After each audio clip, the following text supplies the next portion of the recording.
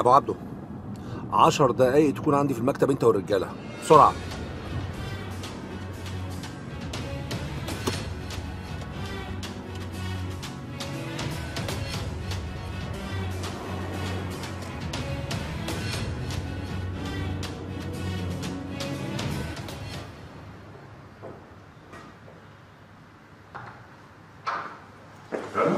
شو عم تعملي هون؟ لك زمان ناطرة؟ لا مش طب ليه ما حكيت لي؟ توقعتك تكون بالشركة. كان عندي شغل برا. شوفي شو صار حابة أحكي معك لوحدنا شوي. صاير شيء؟ لا أبدا. أنا اليوم حكيت البنك وشفت قديش محولة على الأكاونت تبعي. إيه مزبوط مثل ما اتفقنا. كرمال الشغل أنت وياه آه إذا المبلغ ما بيكفي أنا بعطيكي قد ما بدك لا المبلغ كتير منيح. بس أنا جاي لعندك تساعدني بشي تاني. خير شوفي.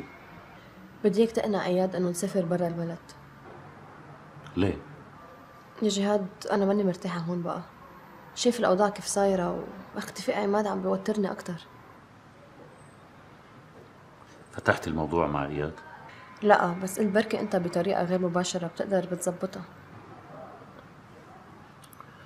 يا أختي ما بعرف شو بدي أقول لك بس خوفك منه مبرر. كيف منه مبرر جهاد؟ والشخص يلي خطفني وجرب يقتلك ويقتلني موجود بمطرح ما حدا بيعرف وينه. ويمكن يكون قريب منا وما بنعرف. بقدر أعين لك مرافقة أو حرس قد ما بدي. بعدين كيف تركي المزرعة لحالي؟ إنه جهاد أنت شايف الحل إنه أنا ضل محبوسة بقلب المزرعة؟ طيب. أنا رح جرب أحكي معه. please هو وين هلا؟ ما بعرف ظهر. وسام سلامه انطرد من الشقة النهارده. ما فينا. نعم. ليه ما فينا؟ لأنه ترك الشقة. أنت إزاي ما قلتليش حاجة زي كده؟ بصراحة مستر جو أنا فكرت انه أنت ما تفكرش. أنت بتشتغل هنا عشان تبلغني بالأخبار وبس. دي شغلتك معايا.